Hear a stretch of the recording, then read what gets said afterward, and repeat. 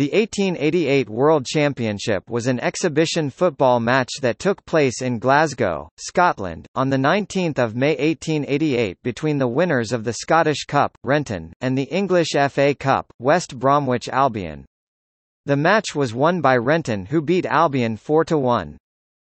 This was not the first World Championship Game between English and Scottish sides, however, the next edition was the first such club competition contested between National League winners as the leagues had not been yet created before that time.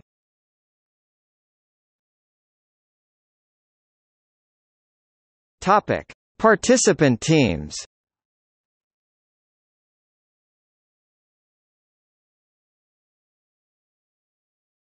Topic: Match details.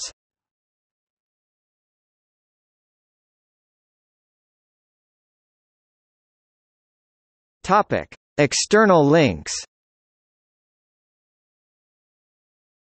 BBC article